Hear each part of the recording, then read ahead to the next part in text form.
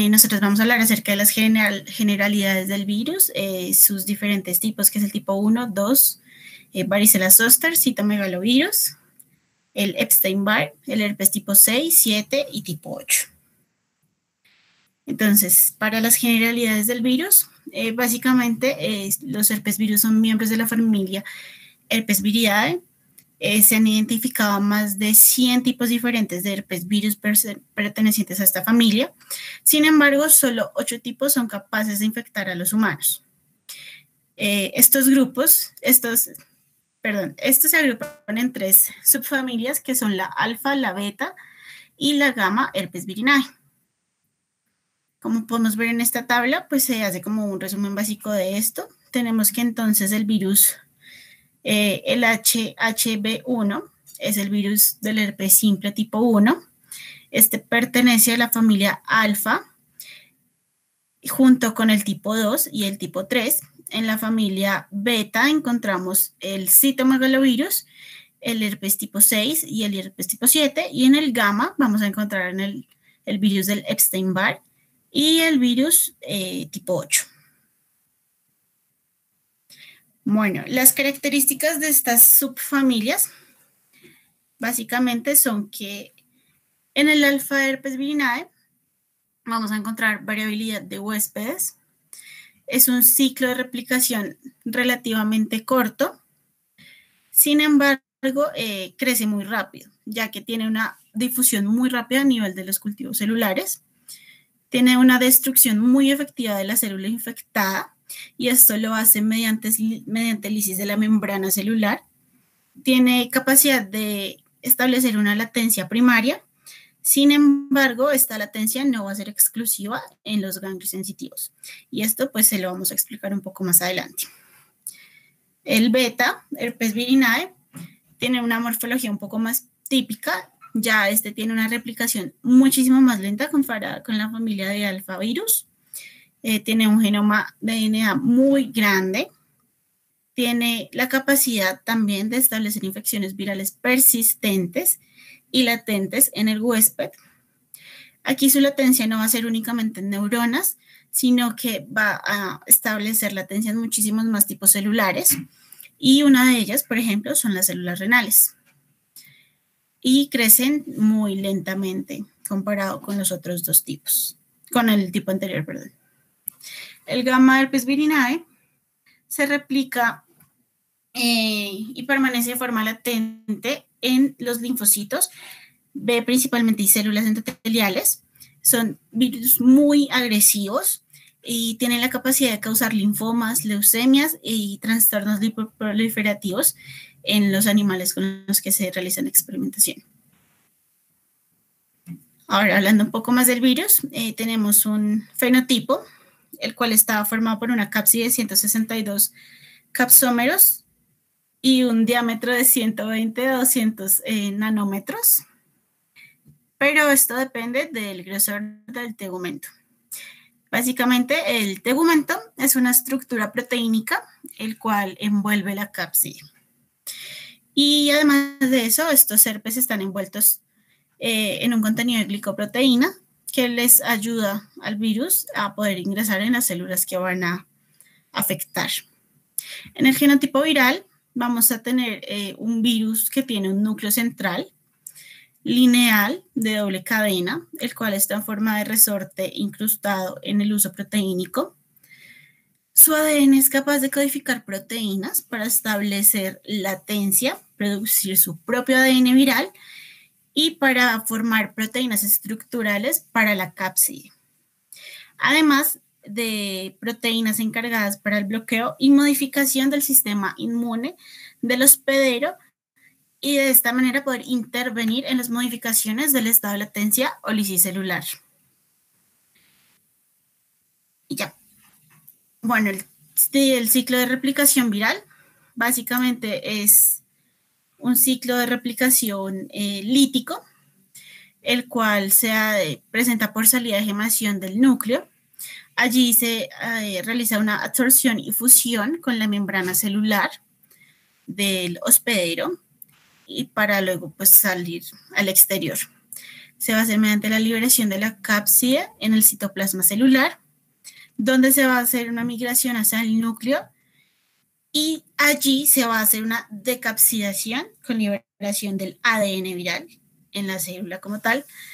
Ahí luego se va a hacer una traducción de proteínas virales para regular y estructurar eh, la célula, junto con una replicación aquí como tal ya del ADN viral. Seguido de esto se realiza un ensamblaje de nucleocápsida, se transcribe el ARN mensajero, eh, se manda al retículo endoplasmático y pues ahí ya queda la célula infectada como tal. El mecanismo de acción de los fármacos, esto lo vamos a hablar porque básicamente eh, estas infecciones se van a manejar con los mismos fármacos.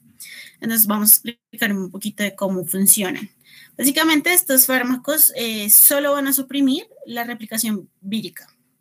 Básicamente eh, se tienen tres importantes que tenemos el aciclovir y el valaciclovir.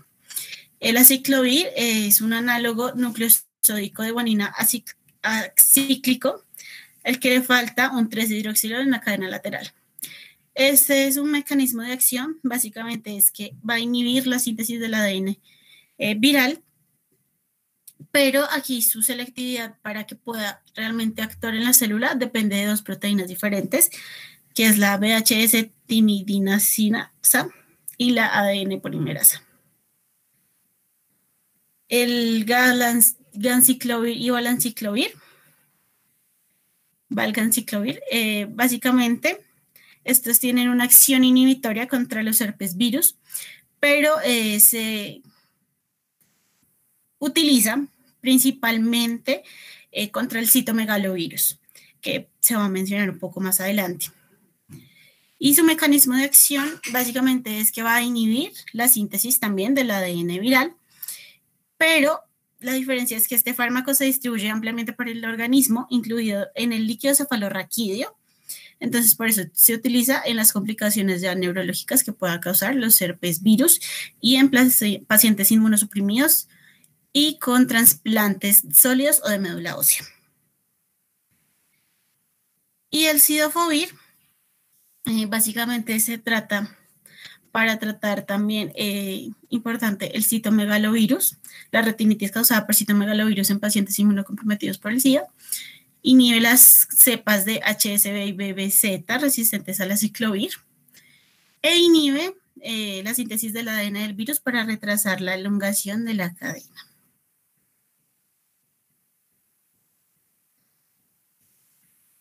El famciclovir y el penciclovir eh, es un profármaco, este diaticélico del 6-desoxipenciclovir.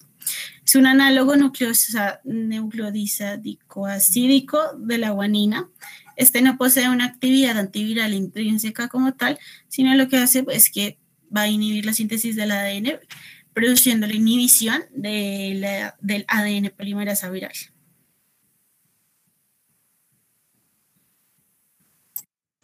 Bueno, yo les voy a hablar acerca del herpes simple tipo 1. Pásale, por favor. En cuanto a las generalidades, pues esta es una enfermedad vírica aguda de la piel que principalmente está caracterizada por la formación de ampollas agrupadas que pueden aparecer en cualquier lugar. Digamos que en este caso del herpes virus simple tipo 1, pues aparecen principalmente en la región bucal y en el área genital. Este virus también se asocia con enfermedad facial, genera lesiones vesiculares que pueden afectar la boca, la conjuntiva, el sistema nervioso. En cuanto a su estructura, pues es un virus con envoltura de ADN y es un virus que permanece latente. Se puede reactivar mediante estímulos como el calor, el frío, el estrés, si la persona también tiene fiebre o si disminuye su respuesta inmunológica. ¿Puedes pasarlo? Gracias. En cuanto a la epidemiología, pues el herpes simple tipo 1 es muy frecuente a nivel mundial, pero tiene mayor prevalencia en, en África y en América. En África, pues digamos que el 88% de la población padece de este, este virus y en América el 45% de la población. Además de esto, pues digamos que este tipo de herpes está, es el que más está asociado con lesiones en la región bucal y también produce enfermedades como la encefalitis viral.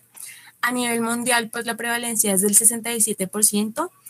El 67% de las personas menores de 50 años padecen de este tipo de virus, del herpes simple tipo. Puedes pasarlo. En cuanto a la sintomatología, pues en algunos casos es asintomático, pero hay en casos que no. La persona puede presentar sintomatología como dolor, picazón, pues en el área que esté afectada. También puede presentar protuberancias rojas pequeñas o ampollas blancas. Y es, digamos que también pueden presentarse lesiones ulcerativas que van a afectar principalmente lo que es la mucosa vocal, la lengua, las encías y la faringe. Puedes pasarlo. En cuanto a la transmisión, pues se transmite por medio de contacto directo con el virus a través de úlceras que se encuentren activas mediante saliva o mediante contacto sexual, más que todo por medio, digamos, que del sexo oral o también conocido como contacto bucogenital. Y bueno, principalmente se transmite por medio de contacto boca a boca, entonces por medio de, de los besos.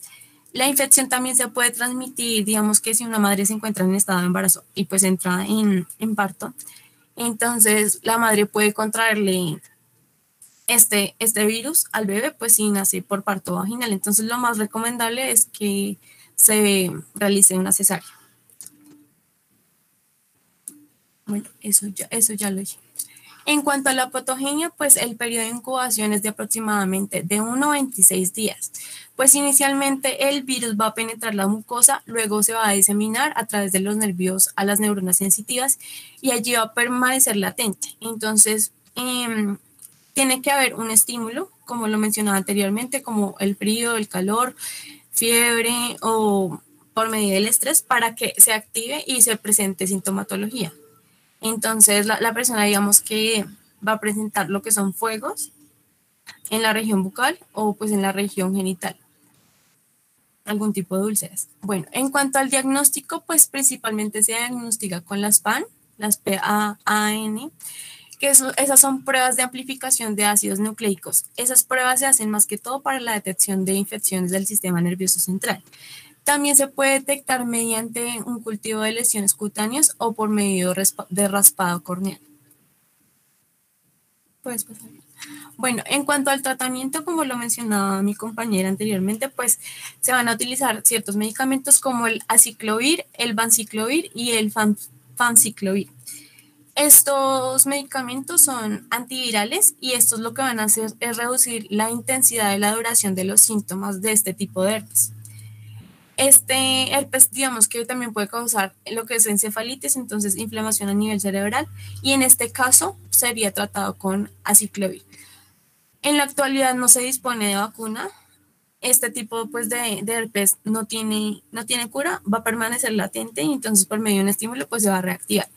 Y en cuanto a la prevención, pues digamos que se le debe recomendar a las personas que se laven las manos, evitar el contacto sexual pues, con una persona que tenga que se le vea, digamos, que este tipo de lesiones.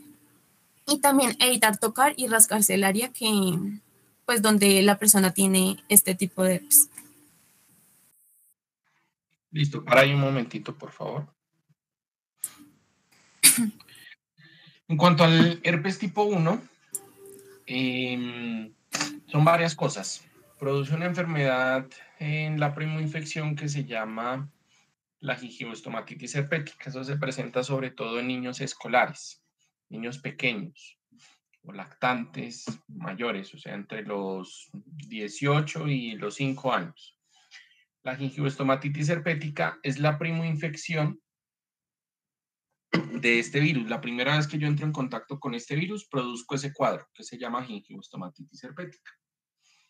La gingivostomatitis herpética da más o menos cinco días de fiebre, mucho malestar general, mucho dolor para comer. Son estas mismas lesiones, pero no en la piel, sino que dan eh, úlceras eh, o aftas en las encías, en la lengua, en la garganta. Como les decía, cinco días de fiebre, mucho malestar, mucho dolor para comer, enfermedad benigna y transitoria. No se asocia a ninguna otra complicación. Pero una vez ingresa el virus, el virus se va a enfrentar al sistema inmunológico. El sistema inmunológico va a utilizar todo su repertorio para tratar de depurar las partículas virales que vean. Una de las particularidades de estos virus es que tienen un prolongado estado de latencia. ¿Qué quiere decir? Que estos virus son capaces de infectar células y quedarse a vivir dentro de las células. Dejan su genoma adentro de la célula y aprovechan alguna eh, baja en el sistema inmunológico, algún periodo de inmunosupresión para volver a replicarse, para volver a ensamblar sus partículas virales y afectar otras células.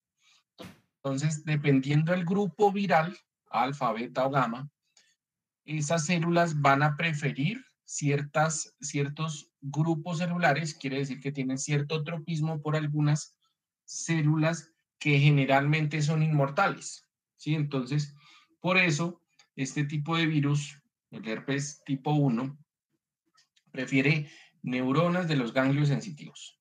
Va y se mete a vivir a las neuronas de los ganglios sensitivos. Ya sabemos que las neuronas son células que eh, una vez formadas y conectadas van a ser inmortales. Por eso esos virus prefieren ese tipo de células. ¿Por qué? Porque tienen periodos de latencia muy largos. Entonces, como les decía, entra el virus y el virus se va a tener que enfrentar al sistema inmunológico del paciente, del huésped, y lo más frecuente es que el sistema inmunológico supere al virus, lo controle y en muchos casos lo elimine.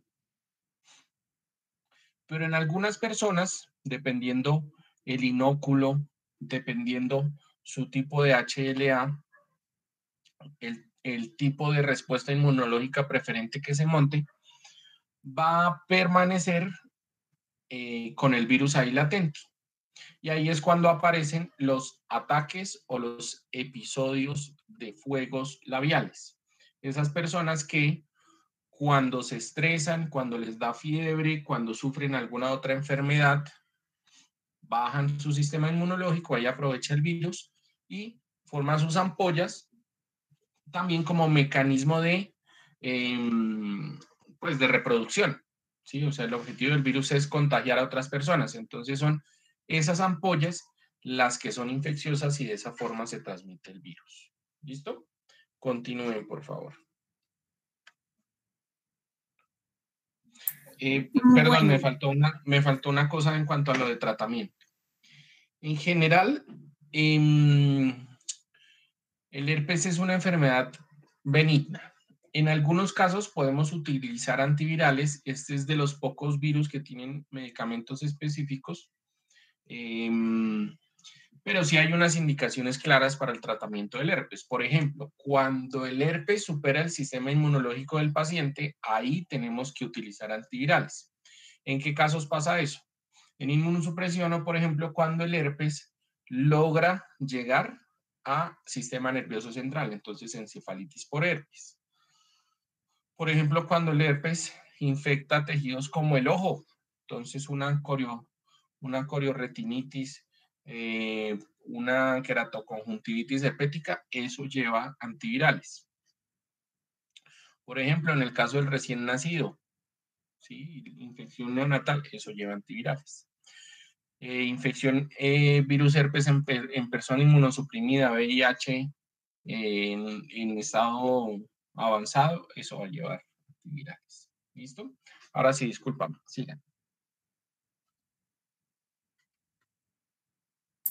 Bueno, eh, el herpes simple tipo 2, vamos a hablar acerca de él.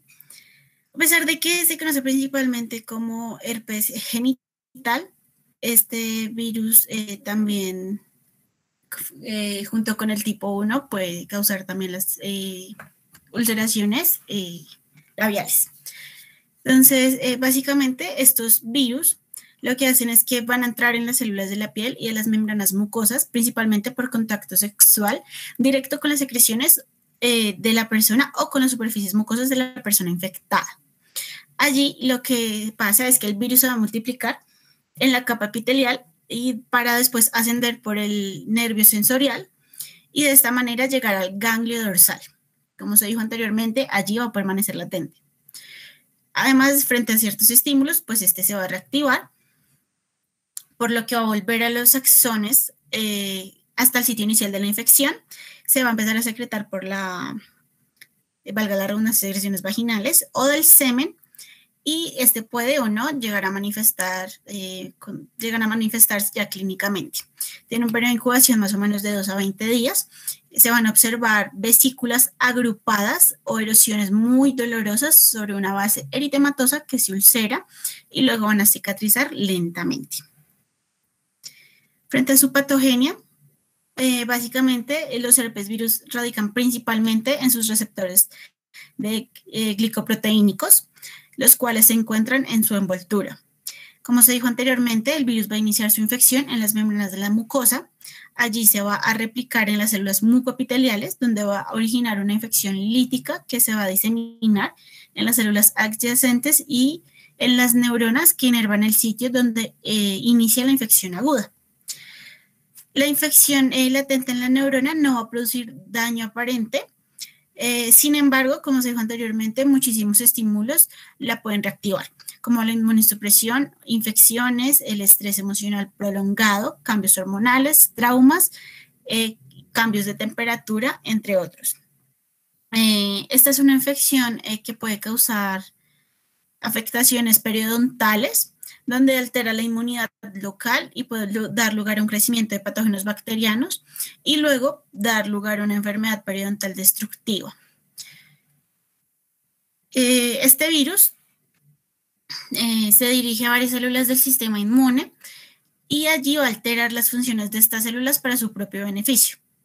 Estas células eh, infectadas van a estimular la producción de citocinas, donde van a activar los mecanismos involucrados en la destrucción por ejemplo, de los periocitos para generar inflamación, degradar el colágeno y así generar una reabsorción ósea. Frente su diseminación viral, básicamente después de que se resuelve la infección primaria por el virus, se va a producir eh, una diseminación viral intermitente asintomática tanto en hombres como mujeres, incluso si estas personas ya no están eh, presentando las lesiones genitales. Estas, esta diseminación puede ocurrir eh, durante un brote clínico, va a afectar principalmente la región de los glúteos y esto puede reflejar la reactivación de los ganglios neurales sacros.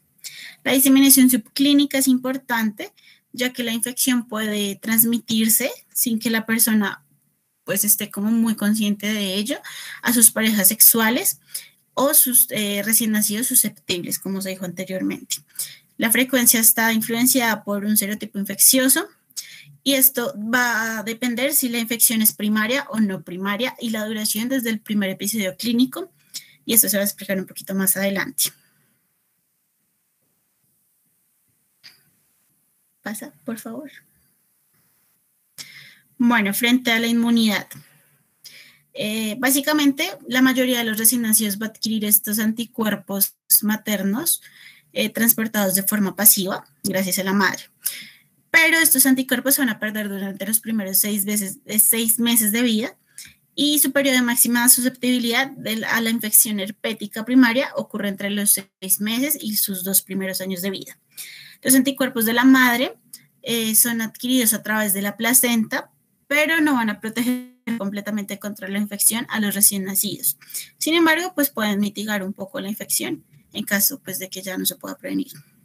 Los anticuerpos contra el virus tipo 2 eh, suelen aumentar durante la adolescencia y la actividad sexual. En las, infecciones primarias, eh, los anticuerpos IgM van a aparecer en forma transitoria y se van a acompañar de IgG e IgA, los cuales van a persistir por periodos prolongados, lo que significa que mientras más grave sea la infección primaria o más frecuentes sean las recididas, mayor será el grado de respuesta inmunitaria. La inmunidad está medida por células y factores específicos del hospedador, como los linfocitos citolíticos naturales e, e, e, y el interferón, eh, los cuales van a ser importantes para controlar las infecciones, eh, tanto primarias como no primarias. Después de una infección primaria, independiente si se manifiesta, sea leve o no sea leve, el virus transportado en un estado de latencia en presencia de anticuerpos. Sin embargo, estos anticuerpos no pueden evitar que se vuelva a reactivar el virus causando una reinfección, pero pueden hacer que ya la siguiente vez pues ya no sea tan fuerte. Frente a su epidemiología, eh, es un virus que se transmite por lesiones o con el virus diseminado en las superficies mucocutáneas eh, de las personas asintomáticas. Estas personas puede que no sientan eh, que en ese momento pues están infectados, entonces lo que van a hacer es que no van a saber, no van a saber si infectan a otras personas con las que tengan algún tipo de contacto sexual. Esta reactivación es muy común. La mayoría de los episodios de la reactivación genital persisten después de seis horas el gran reservorio de los portadores no identificados y la frecuente reactivación asintomática ha generado una propagación continua en todo el mundo, por lo que es eh, ahorita de vital importancia tratar el tema. Se asocia con un aumento de dos a cuatro veces mayor a la adquisición del virus eh, tipo 1 y se conoce que aproximadamente hasta el 60% de las mujeres embarazadas en África son seropositivas al virus frente a la infección se va a dividir en primaria, no primaria y recurrente. Básicamente la primaria va a ser, valga la redundancia, la primera vez que la persona va a tener contacto con el virus. Es decir, en este momento la persona no tiene anticuerpos contra el virus eh, ya preexistentes, ni para el tipo 1 ni para el tipo 2. En la no primaria eh, ya se presentan anticuerpos. Sin embargo, si la persona se infectó contra el tipo 1, por ejemplo, no va a tener contra el tipo 2 preexistentes y viceversa. Y en la recurrente ya se va a generar una reactivación del virus genital del tipo del que el paciente ya se había recuperado. O sea, el que se infectó primero es el que le va a volver a ocurrir eh, y aquí pues ya sí va a tener eh, el tipo de anticuerpos en el suero. Bueno, las manifestaciones clínicas, básicamente, eh, pues igual se van a dividir en tres. Si es por infección primaria, por infección no primaria, por infección recurrente. En la infección primaria vamos a tener un periodo de incubación promedio para desarrollar el herpes eh, después de una exposición de cuatro días. Sin embargo, se va a tener un rango de 2 a 12 días para que se presente. Las manifestaciones clínicas eh, de esta infección primaria son muy variables y puede básicamente iniciar con úlceras genitales, las cuales son dolorosas, va a presentar eh, disuria, fiebre, linfadenopatía inguinal dolorosa local y dolor de cabeza. Entonces, no sé si alcancen a ver en la foto que está ahí, en la imagen, que se observan como pequeños punticos eh, rojos alrededor de la vulva, pues esas serían eh, como las, las úlceras como tal. Eh, básicamente, aquí el punto para poderlo como asociar ya directamente al herpes virus es el tema de la disuria el cual se dice que se presenta en un 63% de los pacientes, el dolor y la picazón en un 98%, el la fiebre, el dolor de cabeza, la malestar y las mialgias en un 67% y la, la linfadenopatía dolorosa en un 80%.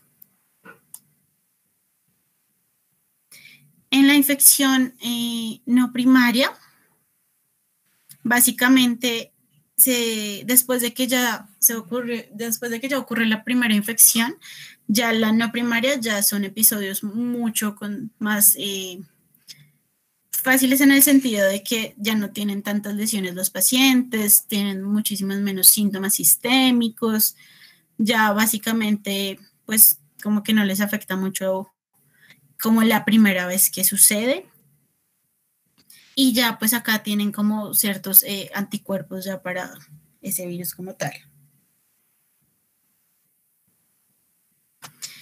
Y ya en la infección recurrente como tal, eh, pues se debe tener claro que es muy común que esto se reactive, pero como dije anteriormente, suelen ser más graves las infecciones, eh, menos graves que las infecciones primarias o no primarias. Aquí la duración de las lesiones generalmente es un poco más corta, dura aproximadamente eh, de 2 a 5 días frente a la primaria que dura aproximadamente de 10 a 19 días.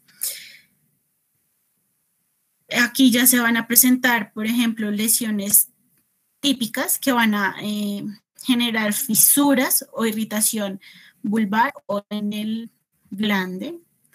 Y ya, digamos, los principales síntomas es, eh, hay algo que, perdón, eh, los pacientes antes de presentar esto ya empiezan a identificar que se puede acercar este, esta recurrencia, ya que presentan hormigueo local o dolores punzantes en las nalgas, piernas y caderas, como, se como les dije anteriormente, por el nervio sacro.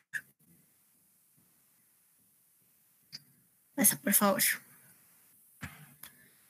Bueno, este virus va a tener complicaciones extragenitales y van a ocurrir eh, típicamente durante el episodio primario de la infección por el virus, pero pues también pueden aparecer en episodios posteriores.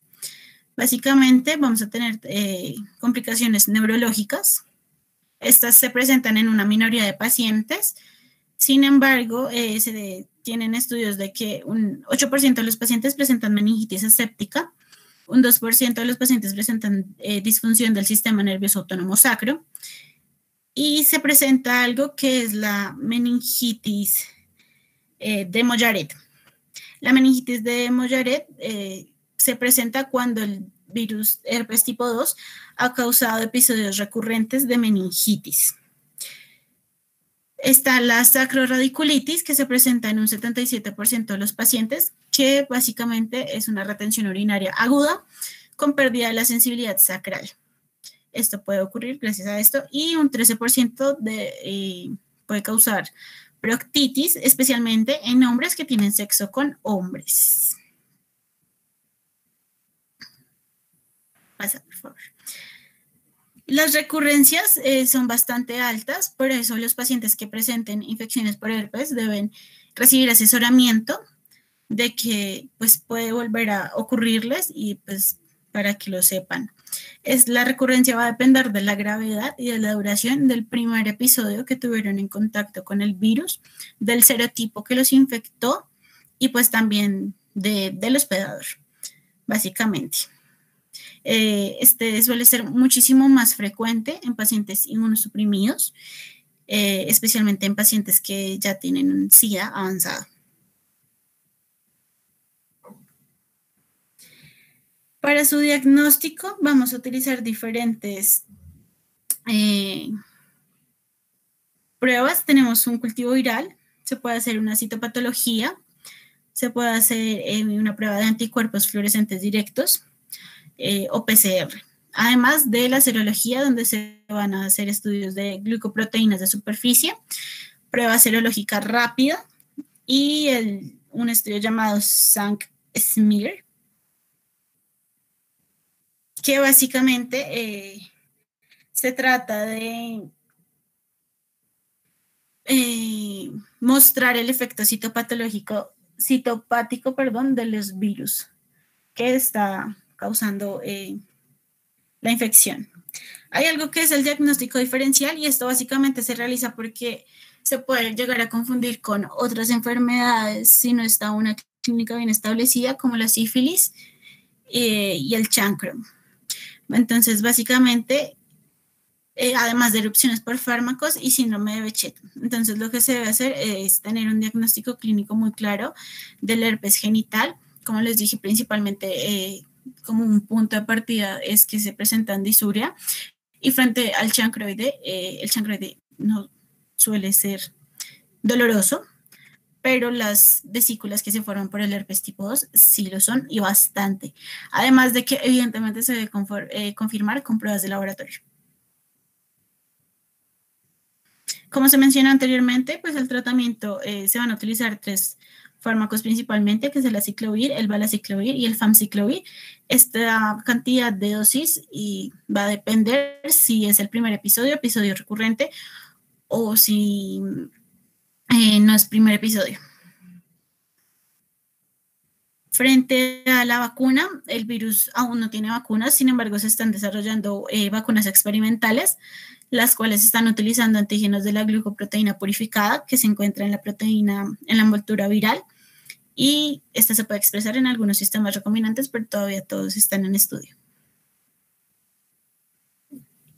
Bueno, ahora vamos con el virus de la varicela zoster. Siguiente, por favor.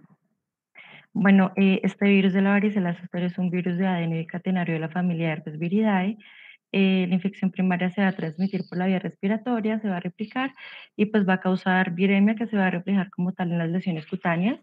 Luego va a establecer la latencia pues en los ganglios de la raíz dorsal y puede reactivarse a través de mecanismos desconocidos en un momento posterior. Este virus eh, va a causar dos entidades, eh, la infección primaria, que es la varicela, y la infección por reactivación, que pues es el herpes zóster. Siguiente.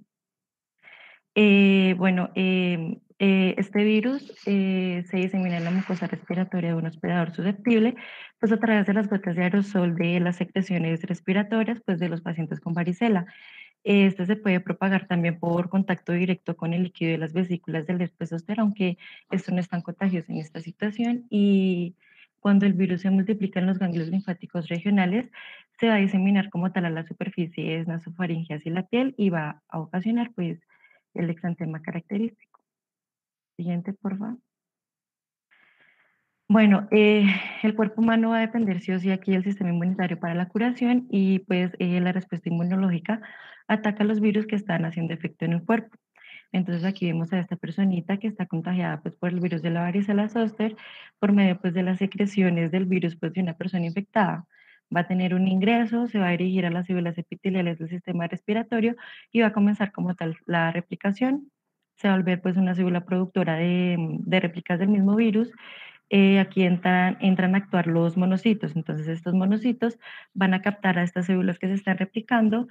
Eh, ellos igual se van a llenar de estos virus, los van a transportar a los ganglios regionales y allí pues el virus se va a seguir replicando. Entonces van a seguir saliendo nuevas copias del virus para irse a alojar ya órganos importantes como el hígado y el vaso. Y ya pues este se dice que es la, la viremia primaria. Ya una vez estos órganos pues son invadidos por este virus, este empieza a salir a la sangre de manera, de, pues, de manera libre. Aquí entran a actuar ahora las células T. Ellas pues también van a tratar de disminuir como tal la replicación, eh, captando pues a los virus, entonces las células T otra vez pues empiezan a expresar en su superficie proteínas, em, proteínas de, de, ligadura con la piel y eh, pues eso nos quiere decir que el virus también está utilizando como tal las células T como medio de transporte para poder llegar a la piel y manifestarse. Entonces, eh, en la piel se va a consolidar la viremia secundaria, la cual ya va a mostrar manifestaciones clínicas eh, visibles en el paciente. Eh, la célula de la piel más afectada es el queratinocito.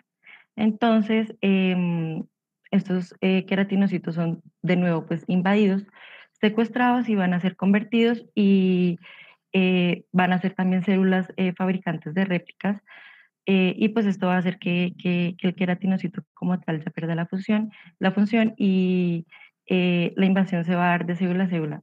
Y esto es súper importante porque estos queratinocitos que no han sido invadidos van a empezar a expresar en su sí, van, ya van a empezar a expresar sustancias quimiotácticas como son el interferón alfa y el interferón beta, que van a servir como sustancias atrayentes del sistema inmune.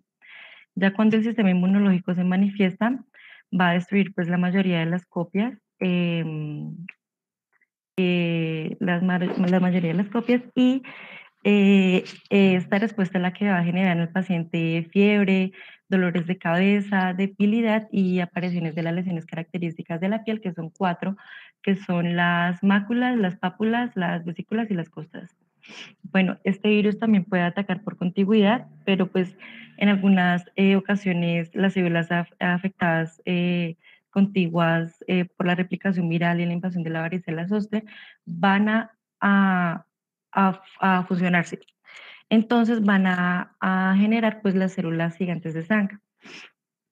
Ya pues la varicela zoster va a entrar en una etapa de viremia secundaria y es cuando empieza a dar manifestaciones que aparte que pues ya la piel ha sido afectada, va a afectar órganos internos como el cerebro, el pulmón y el hígado y va a generar inflamación, destrucción y las eh, sobreinfecciones bacterianas.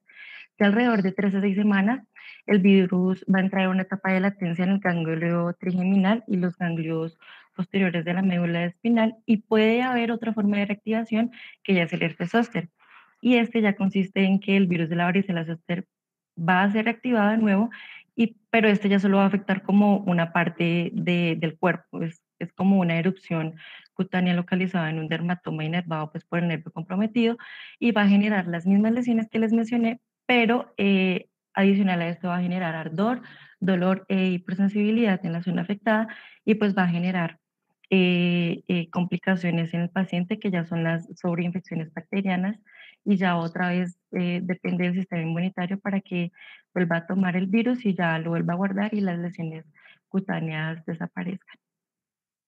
Siguiente, por favor. Ya con la varicela, pues los pacientes van a presentar fiebre, malestar, exantema caracterizado pues por maculopápulas, vesículas y costras, como les había comentado. Eh, las lesiones cutáneas aquí son pequeñas, con una base eritematosa de 5 a 10 milímetros y pues aparecen en cultivo de 2 a 4 días, más o menos. Eh, la gravedad va a variar de persona a persona y se dice que los pacientes eh, mayores tienden a tener una enfermedad un poco más grave. El periodo de incubación es de 10 a 21 días, pero generalmente es de 14 a 17 días. Siguiente, por favor. Bueno, eh, eh, en general la, varicela es una, es una enfermedad leve, pero eh, también puede causar complicaciones, como lo son las, las sobreinfecciones bacterianas de la piel, la afectación del sistema, sistema nervioso central, la neumonía, miocarditis y afección hepática. Eh, la infección bacteriana generalmente es causada por Streptococcus pyogenes y Staphylococcus aureus. Eh, en el caso del sistema nervioso central, se va a manifestar como ataxia cerebelosa aguda, irritación meningia, que aparece más o menos 21 días después del exantema, pero pues este ya 21 días después tiene un curso benigno. Puede aparecer meningitis viral, encefalitis, mielitis eh, transversa, síndrome de Guillain-Barré o síndrome de Reye. Eh, la neumonía por el virus de la varicela zoster es la complicación más grave y se desarrolla con mayor frecuencia en los adultos. Eh, comienza entre los 3 y 5 días después de, del inicio de la enfermedad con taquimnea, tos, disnea, fiebre, cianosis, dolor torácico pleurítico y hemoptisis. Siguiente, por favor. Con respecto a la epidemiología, la varicela pues, es una enfermedad distribuida por todo el mundo. En los países templados, eh, la incidencia tiene lugar entre los niños de 5 a 9 años de edad y más del 90% son menores de 20 años de edad. Eh, la enfermedad ocurre general, eh, generalmente en forma endémica, intercalada por brotes epidémicos de predominio en invierno y en primavera. Siguiente, por favor. Como vemos en, esta en la grafiquita de arriba, eh, durante el periodo 2017 al 2020 se notificaron un total de 1.119.802 casos eh, y en esta gráfica se ve que desde el 2007 al 2019 eh, se evidencia un comportamiento clínico con incrementos sostenidos de tres años seguido de incrementos de dos años. el mayor número de casos notificados se presentó en el año 2011 y en el 2015. Y en esta grafiquita de abajo se observa que desde el año 2016 al 2019 eh, hay una disminución y esto eh, se debe pues a la, a la vacunación y se observa que desde el año 2015 más o menos hubo un decremento de la incidencia de pasaron de tener 666 casos por 100.000 habitantes a tener 333 casos por 100.000 habitantes, entonces por lo cual hubo como un, una reducción del 49%. Siguiente, por favor. Ya en esta gráfica se observa que en el año 2019 eh, hubo mayor incidencia en los niños de 5 a 9 años de edad. En segundo grupo con mayor incidencia están los niños de 1 a 4 años de edad y en tercer grupo están los niños de 10 a 14 años de edad. Siguiente, por favor. Ya en el tratamiento es el mismo tratamiento antiviral, pero pues puede ser más útil si se administra dentro de las 24 horas eh, al inicio de los síntomas y estos también pues van a, a, disminuir el número de lesiones. Siguiente. Bueno, eh, el herpes zóster pues es ocasionado por la reactivación endógena del virus de la varicela zóster, como se los había comentado anteriormente, que va a pues, persistir de forma latente en los ganglios de las raíces sensoriales dorsales eh, y craneales después de la, de la infección primaria. Eh, por lo general se va a manifestar como un exantema vesiculoso unilateral dentro de un dermatoma, a menudo asociado con, pues, con el dolor intenso. Em, el dolor en un dermatoma puede eh, preceder a las lesiones en 48 y 72 horas y los dermatomas T3 a L3 se afectan con más frecuencia. Eh, la duración habitual de la enfermedad es de 7 a 10 días, pero la piel puede tardar eh, de 2 a 4 semanas en volver a la normalidad. En Estados Unidos se dice que, o sea, más de 1.2 millones de, de, de, casos al año, la incidencia es más alta en los pacientes mayores a 50 años de edad y pues un paciente con herpes zóster puede contagiar a una persona cero negativa pues con la consiguiente varicela. Siguiente. Las complicaciones eh, van a incluir susto que puede eh, conducir a la ceguera, el síndrome de Ramsay-Hunt, que es caracterizado por dolor y vesículas en el conducto auditivo externo, pérdida de gusto en los, en los dos tercios anteriores de la lengua y parálisis facial ipsolateral. Y ya en los pacientes inmunodeprimidos, en particular aquellos con la enfermedad de Hodgkin, de Hodgkin y, y linfoma no Hodgkin, van a correr el mayor riesgo de desarrollar zóster grave y enfermedad progresiva. Eh, la diseminación cutánea ocurre en el 40% de estos pacientes y pues va a aumentar el riesgo de otras complicaciones. Siguiente. Bueno, eh, las lesiones eh, sanan más rápidamente con este mismo tratamiento antiviral. Siguiente. Con respecto a las vacunas, la primera Disculpa, te interrumpo, Ginette. Vas muy bien, te felicito. Eh, hay una particularidad con pues, varias cosas de, por decirte, del, del virus de la varicela. Primero, pues que tiene una, un periodo de incubación muy largo y es en extremo muy contagioso. Eh, es un virus respiratorio y genera muchos problemas cuando suceden brotes de este virus a nivel hospitalario. Eh, casos donde, por ejemplo, tienen que cerrar pabellones enteros de, de un hospital por, por casos de varicela hospitalaria, pues como ya escuchamos en pacientes inmunosuprimidos es muy grave. Entonces, un, un caso de varicela en un piso de oncología obliga a cerrar el piso de oncología. Un caso de varicela en, en un piso de trasplantes obliga a cerrar un piso completo de trasplante. Entonces, em, digamos, es un virus complicado. Em, ¿Qué otra cosa importante? Ustedes probablemente no van a ver ya muchos casos de varicela. Afortunadamente está extendiéndose la, la vacunación y la vacuna es muy buena. Eso probablemente va a hacer que ustedes no vean casos de varicela aguda, pero sí se van a seguir encontrando con eh, casos de varicela zóster, eso sí lo van a ver. El tratamiento, a veces se utilizan antivirales en el periodo agudo, un poquito de esteroides, pero también se pueden utilizar, me puedes devolver un momento la diapositiva, algunos medicamentos como por ejemplo gabapentina, mitriptilina, pregabalina, que son y me parece que es el que tienen abajo, no alcanzo a leer bien, que son medicamentos para el dolor neuropático porque esta enfermedad duele mucho. ¿Listo? Eh, sigue. Bueno, eh, la primera vacuna de virus vivos atenuados para prevenir la varicela es la Virivax, eh, la cepa Merck para todos los niños y adultos negativos y se recomienda dos dosis de esta vacuna vivo atenuada con la varicela en un intervalo de, de uno a dos meses. Siguiente. Y ya en pacientes inmunodeprimidos y de alto riesgo se usa Barilix, Barilrix, eh, la cepa Ocarrit y se puede usar a partir de los 12 meses de edad. Siguiente.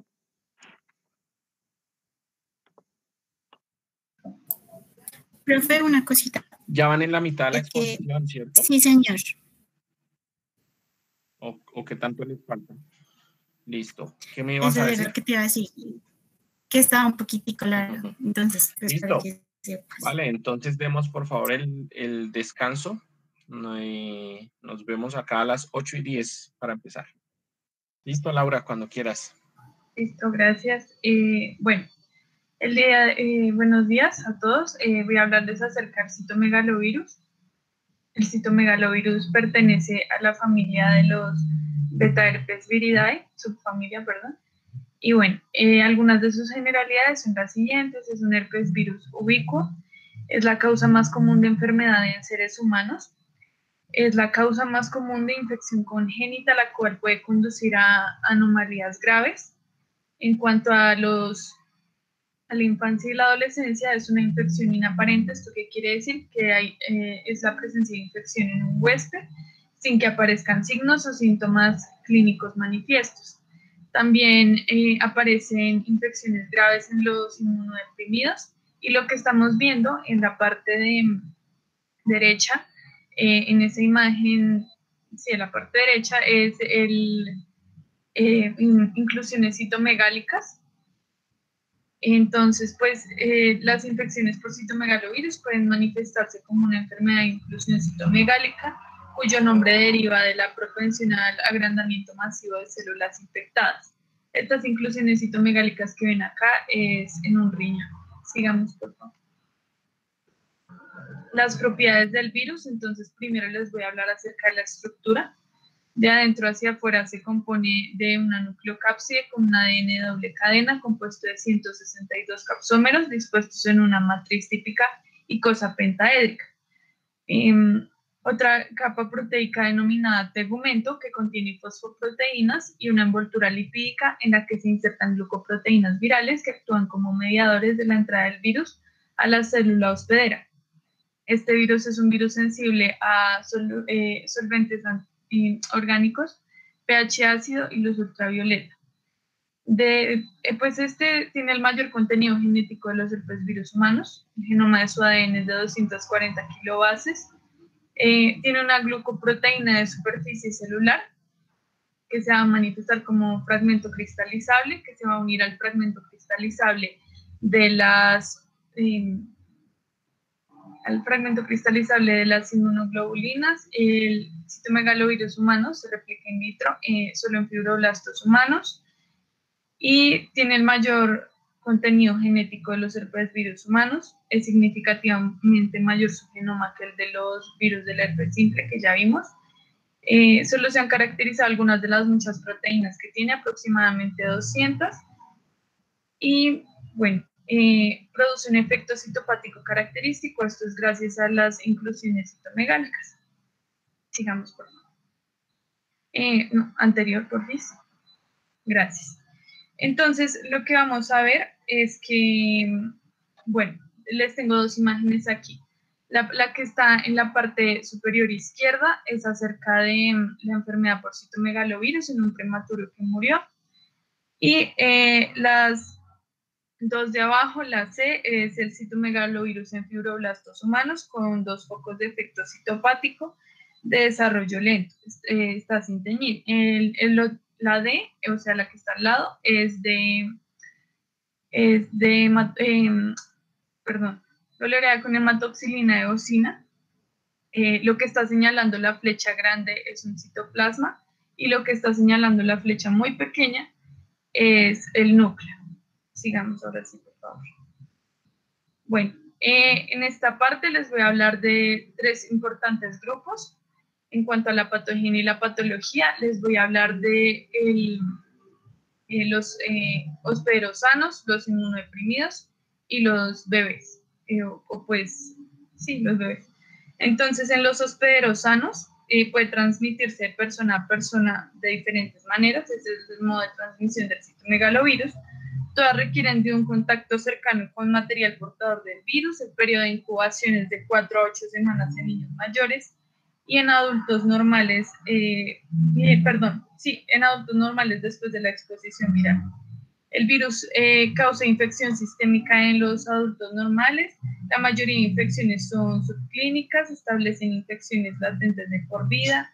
Puede transmitirse de forma intermitente desde la faringe y la orina meses o años después de la infección primaria. Y la afectación de la glándula salival es común y probablemente crónica.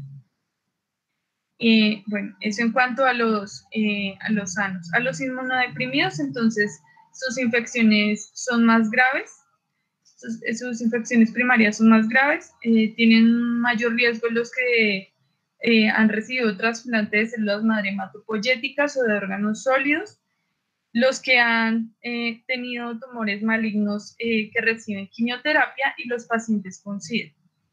La excreción viral aumenta y se prolonga y la infección es más propensa a diseminarse. Eh, en esta parte, la neumonía y la colitis son más comunes en, ellos. La respuesta inmunitaria del hospedero se mantiene para los, eh, para los individuos seropositivos. Em, las infecciones reactivadas en, estos pueden ser más virulentas, como, la, eh, como las infecciones primarias. Y bueno, aquí tenemos un gráfico que he eh, sacado un artículo que se investigó para, para este momento. Entonces dice que eh, las fuentes de infección por citomegalovirus, entonces está la leche materna, los complejos inmunitarios, más adelante vamos a hablar un poquito más de esto. Y bueno, hablamos, pues, por cuestiones de tiempo no les voy a explicar del todo el, el, el, el, ¿qué? el el gráfico, pero sí les voy a hablar de algunas cosas. Entonces, las infecciones congénitas y perinatales pueden ser graves. A ellos eh, se les da la enfermedad de inclusión citomegálica grave, eh, se les desarrolla. El gran porcentaje presentará efectos en el desarrollo y, retraso mental. Y pues eh, es una infección intrauterina común asociada con defectos congénitos. Esto en cuanto a las a esto y el virus puede transmitirse en el útero con infección primaria y reactiva materna. El daño fetal rara vez es resultado de infecciones maternas reactivadas. La infección es subclínica, y, pero pues a la vez es crónica. Se puede dar durante el parto. El canal del parto es eh, uno de los principales modos de transmisión de esta. Por leche materna, esto por los anticuerpos maternos pasa a ser subclínica es decir, ahí esto puede ayudar al bebé, pero pues no es del, o sea, no les explico, no es, no es del todo, o sea, sí, la convierte en subclínica. Y es una diseminación viral alta por ser en el útero o perinatal. Pasemos por. Bueno, en cuanto al síndrome de Torch, pues es un conjunto de signos y síntomas en el feto recién nacido causados por la por los agentes incluidos en este acrónimo, que son pues, la toxoplasmosis, otras como la sífilis, la rubeola y pues, el citomegalovirus del que estamos hablando y el herpes eh, aquí, pues como más adelante les voy a mencionar las manifestaciones clínicas y esto en, en recién nacidos y así, pues les voy a hablar solo de la prevención. Entonces, pues se le pide a la madre lavar sus manos con agua y jabón, no compartir comida o bebidas con los niños pequeños, no no poner el chupete del hijo en la boca de la mujer embarazada y no compartir cepillos de dientes, evitar el contacto en saliva al besar al niño y limpiar los juguetes y pues ya, sigamos. En cuanto a las manifestaciones clínicas, de nuevo vamos a hablar de los tres grupos que ya había mencionado antes, los esperos normales, las infecciones congénitas y pues los esperos eh, inmunodeprimidos.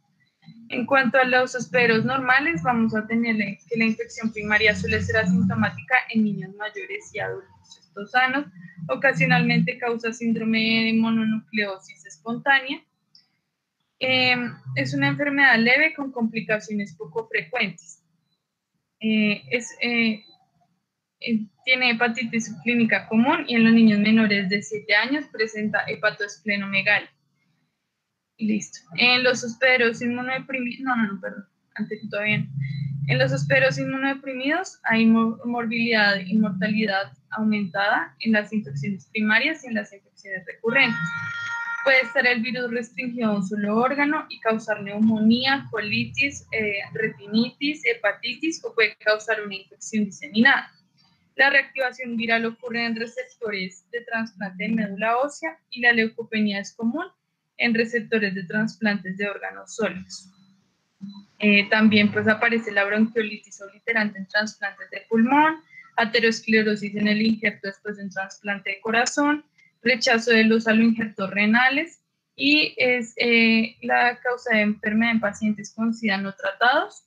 Y la colitis y coriorrenitis son comunes y conducen a ceguera progresiva. Esto en, en bueno, ahora vamos con las infecciones congénitas y perinatales, que puede provocar pues eh, la muerte del feto en el útero, una inclusión citomegálica. Ya vemos que a lo largo eh, de esta parte que les he dicho, pues eh, les he hablado de las inclusiones citomegálicas, esto mucho en, los neonatos. Y bueno, a ellos se les da retraso el crecimiento intrauterino, ictericia, hepatosplenomegalia, trombocitopenia, retinitis y, micro, microcefalia. Ahora sí, pasemos. Bueno, entonces, en cuanto a la inmunidad, voy a hacer algo bastante pues, breve. Eh, la reactivación de la infección latente ocurre en presencia de inmunidad humoral. En pacientes eh, adulto mayor son del 80%, en jóvenes em, y adultos es del 40%. Y pues hablamos otra vez de las madres eh, que por medio pues, de sus anticuerpos eh, tratan de ayudar al niño, pero pues esto no es, no es tan factible porque pues él sigue siendo transmisible. Sigamos. En cuanto al diagnóstico, tenemos la prueba de PCR, que es proporciona datos cuantitativos de la carga viral que puede usarse para predecir la enfermedad en pacientes inmunosuprimidos. Y los anticuerpos monoclonales contra antígenos virales se pueden usar para detectar los leucocitos positivos en cepas de pacientes. El aislamiento del virus, pues para esto se emplean los fibroblastos humanos. Se puede recuperar fácilmente tejidos, fluidos corporales y exudados de garganta y orina. Entonces ahí hablamos de que se necesitan dos a tres semanas para, la, para ver cambios eh, citológicos y para esto, pues pequeños focos de células trasudadas inflamadas con grandes inclusiones nucleares. Bueno, hablamos de serología, lo que dice ahí, los anticuerpos IgG, pues son contra el citomegalovirus indicativos de infección pasada y potencial de sufrir reactivaciones. Y la detección de anticuerpos IgM virales eh, sugiere una infección recurrente y eh, perdón, las pruebas serológicas en pacientes inmunodeprimidos no son tan informativas. También tenemos pruebas de resistencia que implican la secuenciación de los genes de la sinasa viral UL97 y la ADN polimerasa UL54. Entonces, eh, hay una comparación en la base de datos de la resistencia en mutaciones conocidas y las mutaciones en UL97 confieren resistencia al ganciclovir y las mutaciones UL54 confieren resistencia al eh, ganciclovir, adecidovir y el foscarnet, que más adelante los vamos a mencionar en el tratamiento. Sigamos, por favor. Bueno, eh, la epidemiología es el citomegalovirus es endémico, está presente durante todo el año. Esto quiere decir que no tiene una época específica como verano, invierno, no, es, está presente durante todo el año. Entonces, varía su prevalencia por estado socioeconómico, condiciones de vida y de higiene. Las nuevas infecciones son casi siempre asintomáticas. Después de la infección, el virus expulsa de múltiples eh, sitios. La eliminación viral puede continuar por años, a menudo de manera intermitente, a medida que el virus latente se reactiva.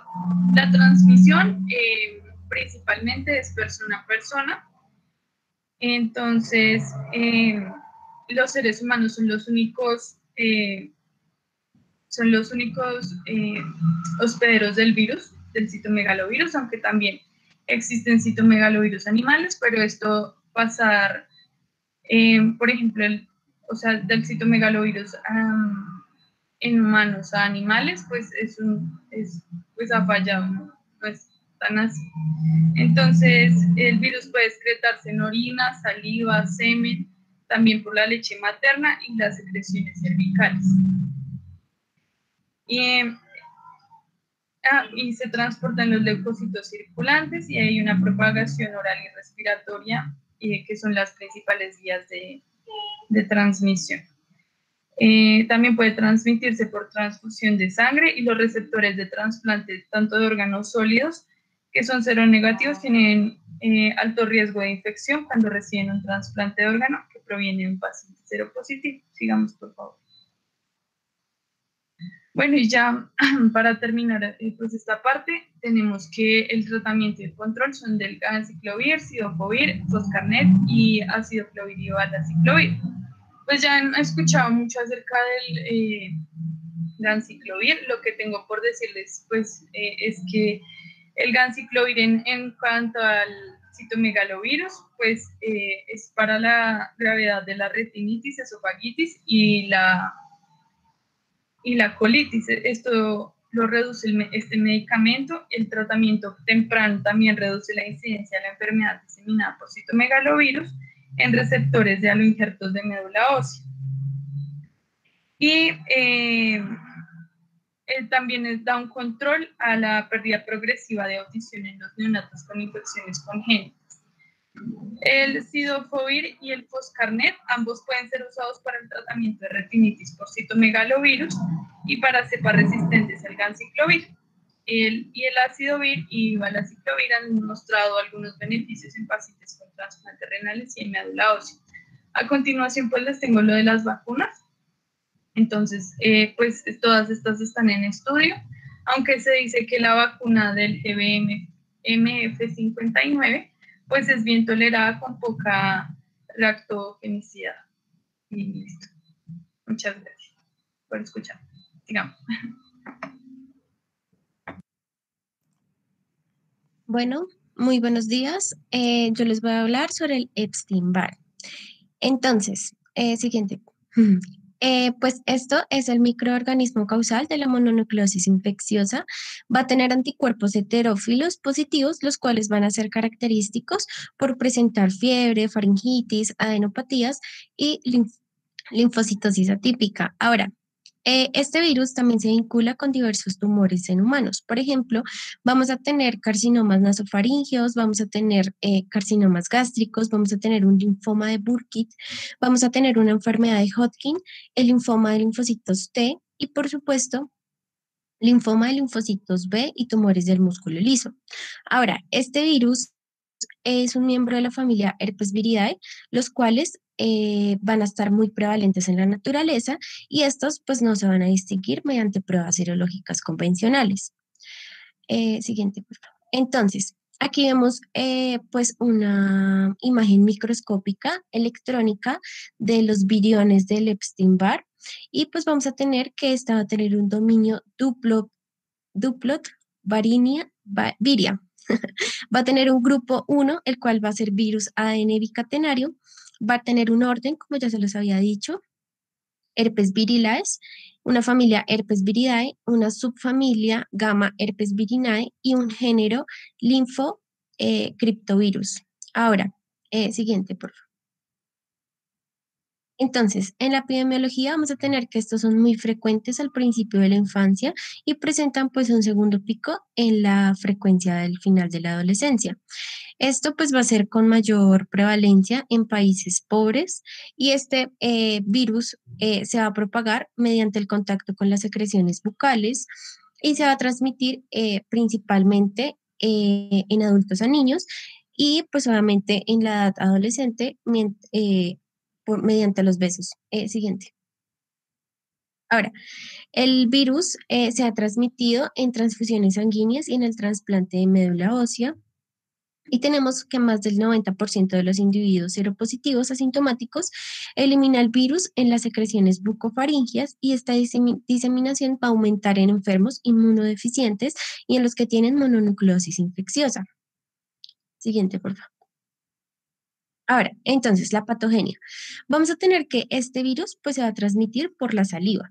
Y también el virus va a infectar al epitelio de la bucofaringe y de las glándulas salivares. Y esta se va a eliminar desde las células, de estas células. Entonces, no, déjala ahí. Este virus, pues obviamente se va a diseminar por la circulación sanguínea y vamos a tener una fase aguda y una fase latente. Entonces, en la fase aguda vamos a tener que la mononucleosis infecciosa, aproximadamente uno de cada 100 células B de la sangre van a estar infectadas y después de la recuperación de esta enfermedad va a estar infectada aproximadamente 1 a 50 pues de cada millón de células. Eh, siguiente, por favor. Entonces, vamos a tener que un porcentaje de linfocitos TSD4 va a estar disminuido, mientras que se producen extensas expansiones clonales de linfocitos TSD8. Y también vamos a tener una infección aguda hasta el 40% de los linfocitos TCD8 que, van a que se van a dirigir contra los antígenos de este virus. Ahora, la infección de las células epiteliales por Epstein-Barr va a producir cuando el virus se liga a las integrinas y va a ocurrir una replicación de la partícula y pues una generación de viriones. Ahora, en la fase de, de latencia eh, se van a expresar in vitro los antígenos nucleares, EPNA, y las proteínas membranas latentes, las cuales van a ser múltiples eh, con microARN y pequeños ARN pues, de este virus. Eh, siguiente, por favor.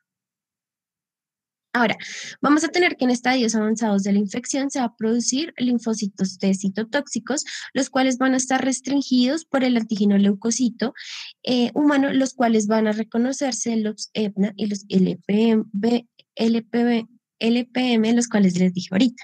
Y estos pues van a destruir como tal esas células de estos virus. Ahora, eh, vamos a tener que si se daña la inmunidad de los linfocitos T, van a empezar a proliferar los linfocitos B infectados, pues por este virus. Y cuando este virus se acompaña de un linfoma de un individuo inmunodeprimido, pues la proliferación de este virus va a constituir solo un paso en el proceso de peldaños múltiples de la transformación neoplásica, y es ahí donde aparece el cáncer. Siguiente, por favor. Entonces, esto es como, esta imagen resume como ya lo que ya les dije. Siguiente.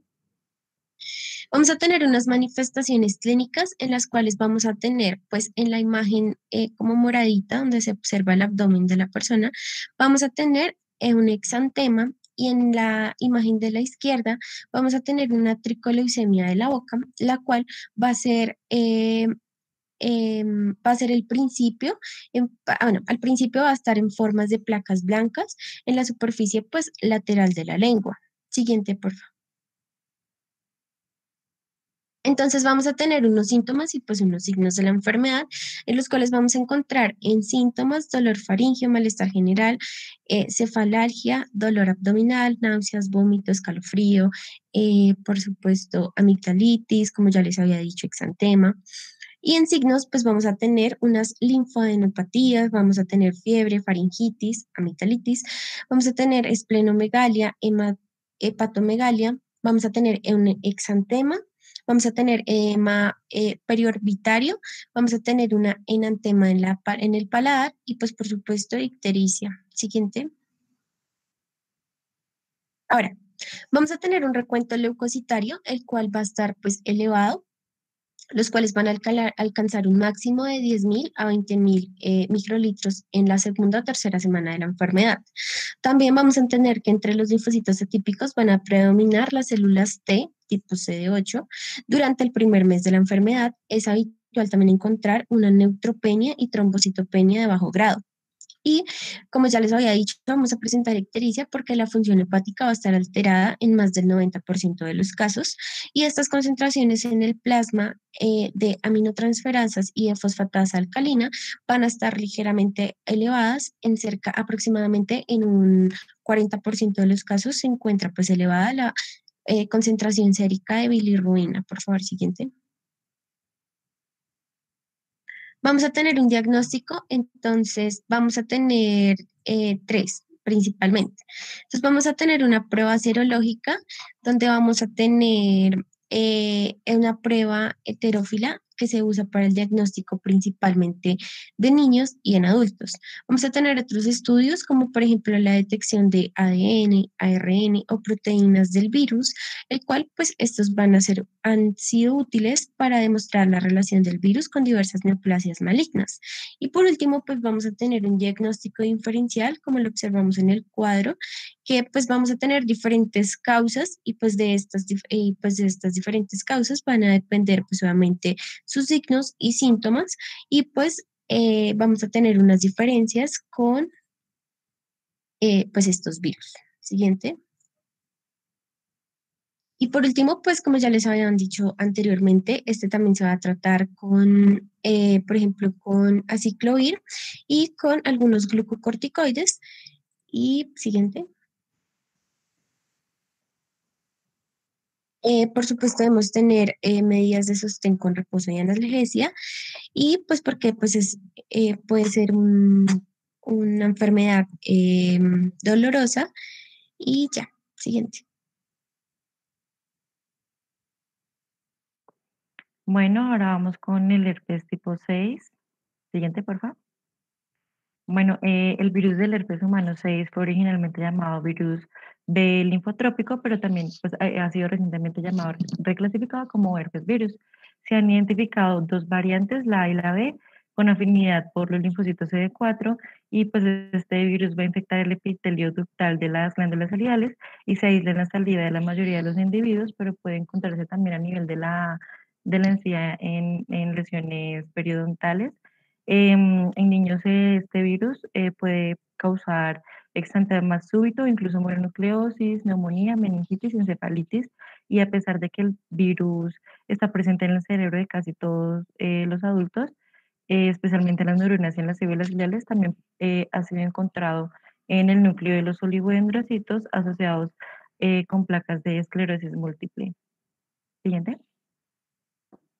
Bueno, eh, las manifestaciones clínicas es la roceola en los niños, eh, niños de 6 a 24 meses que van a presentar fiebres altas y salpullido en el torso y se disemina pues en los brazos, piernas, espalda y cara.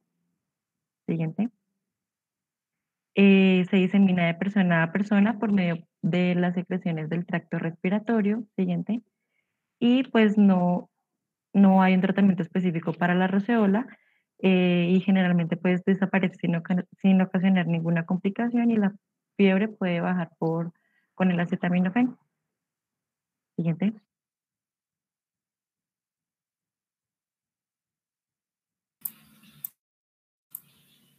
Bueno, el herpes eh, tipo 7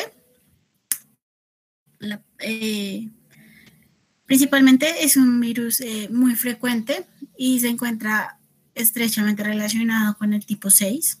Se suele adquirir durante la infancia y se considera que la mayoría de los adultos son seropositivos a este virus. Principalmente se va a encontrar en la saliva y por ende esta va a ser su principal vía de transmisión. Suele ser de padres a hijos y así sucesivamente. Pásale, por favor. Bueno, frente a la epidemiología, eh, se tiene que se presenta en poblaciones adultas y se van a detectar eh, anticuerpos IgG específicos contra este virus en el más del 95% de los adultos. Estas infecciones se producen principalmente, como les dije, en los primeros años de vida y suele permanecer latente en los linfocitos CD4 y en las glándulas submandibulares es, en las glándulas salivales, perdón. Alrededor del 18 al 20% de los niños van a adquirir esta infección en su primer año de vida, el 53 al 65% hacia los dos años, el 75% a los cinco, y eh, como les dije anteriormente, más del 95% de las personas en su edad adulta son seropositivas. Eh, frente a sus manifestaciones clínicas, aquí también se va a presentar la infección primaria, eh, donde el paciente va a presentar un cuadro respiratorio febril. Eh, se puede presentar o no exantema, que como ven en la, en la imagen son pequeños como punticos rojos eh, alrededor del tórax. pueden tener fiebre persistente. se presenta exantema papular, macular o maculopapular en cara, tronco y extremidades. Eh, pueden eh, ocurrir manifestaciones en el sistema nervioso central. Este virus puede causar encefalitis, encefalopatía, hemiplegia, meningitis y desórdenes desmielinizantes en los niños y pues en, en quien lo adquiera. Bueno, aquí en la tabla eh, básicamente vamos a tener los hallazgos clínicos y de laboratorio en pacientes que presentan infecciones primarias causadas por el herpes tipo 7 y tipo 6, que como les dije están eh, bastante relacionados con él.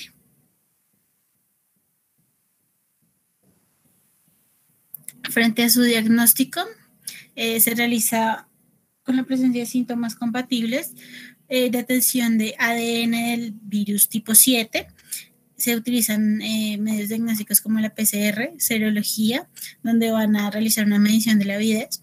Eh, se va a tener en cuenta si la infección es primaria o la infección es pasada, ya que si, en caso de que sea primaria, se va a tener una presencia de ADN del virus por PCR con serología positiva y de baja avidez. Y si la infección es pasada, ya se van a empezar a detectar anticuerpos. Siguiente, por favor. El tratamiento, pues no hay como un tratamiento aquí ya muy específico, ya que suele ser asintomático o suelen ser, pues, eh, la verdad, manifestaciones bastante leves en pacientes que están sanos e inmunocompetentes. El herpes tipo 8, eh, o principalmente denominado herpes del sarcoma de Kaposi, es un virus recientemente que descubierto eh, y se han identificado que se presentan numerosas lesiones, incluso lesiones periodontales en pacientes eh, positivos. Este virus es un virus cubierto por una membrana de naturaleza fosfolipídica, el cual rodea la nucleocápside del DNA y catenario, presenta simetría icosaédrica y una estructura genética antígena bastante compleja. Esta partícula vírica tiene un tamaño entre 120 y 150 nanómetros y básicamente solo se presenta en humanos de forma exclusiva. Principalmente, eh, recién se descubrió, fue descrito como un tumor vascular maligno que se solía presentar con mayor incidencia en sujetos adultos en la región mediterránea. Pase, por favor. Bueno, como podemos ver en la imagen, esas son como eh, las manifestaciones del virus del sarcoma de Kaposi. Frente a sus generalidades, como las que dije anteriormente. Pasa, por favor. Bueno, en manifestaciones clínicas podemos ver eh, en las fotos lo, cómo se puede manifestar con estas, por ejemplo, la punta de la nariz de característica oscura, eh, pequeñas como pápulas, además de que este sarcoma está asociado a diferentes síndromes y enfermedades. Y además de esto, eh, se dice, o sea, se considera, perdón, que eh, los cánceres inducidos por este virus eh, pueden ser el resultado de múltiples células que se infectan independientemente, las cuales van a sufrir una expansión clonal eh, en ellas. Entonces, este, este sarcoma Kaposi está asociado principalmente al SIDA, como la neoplasia más frecuente asociada al VIH. También está asociado a los trasplantes, ya que se considera que puede afectar aproximadamente al 1% de los receptores de los trasplantes de órganos sólidos. Está asociado también al linfoma con derrame primario este es un linfoma pues un poco infrecuente que se presenta en las células B. Es bastante agresivo, suele aparecer en pacientes con SIDA y suele ser exclusivo o presentarse más que todo en la cavidad pleural, pericárdica y peritoneal en forma de derrames eh, linfomatosos. Y la enfermedad de Castleman, que es una hiperplasia angiofolicular de los ganglios linfáticos, eh, la cual en caso de que principalmente es benigna y se puede tratar muy fácil en caso de que se encuentre localizada, pero suele ser un trastorno bastante eh, agresivo en forma multicéntrica y suele ser fatal. El diagnóstico se basa principalmente en métodos de, directos de biología molecular, el cual eh, buscan detectar el ácido nucleico del virus eh, utilizando técnicas de PCR y de detección de ácidos nucleicos y por diagnóstico indirecto, donde se va a utilizar principalmente eh, estudios de serología. Siguiente, por favor. Bueno, como les mencionaba, eh, tenemos las patologías asociadas, que se van a dividir en dos, como enfermedades lipo, linfoproliferativas, como el linfoma efusivo primario de las células B que les dije, que pueden evidenciar en la eh, foto las lesiones que causa en paladar duro y blando y la de los labios. Y como les decía, en la enfermedad de Castleman, eh, estas lesiones, como la que presenta la paciente en su cuello, no son malignas. Sin embargo, eh, pueden generar eh, predisposición para el desarrollo del linfoma no Hodgkin. Su mecanismo de propagación se cree que es más probable que se pueda transmitir por saliva eh, sin embargo, también se ha considerado que se pueda eh, transmitir por medio de transfusiones de sangre, trasplante de órganos, principalmente sólidos, y por contacto sexual. Y las referencias. Y ya. Eso es todo. Listo, muy bien. Eh, ¿Tienen alguna actividad? Genial, listo. Hasta aquí, dudas o preguntas que tengan. ¿Todo claro? ¿Listos para el parcial entonces? Muy bien. Listo. Em, adelante con la actividad.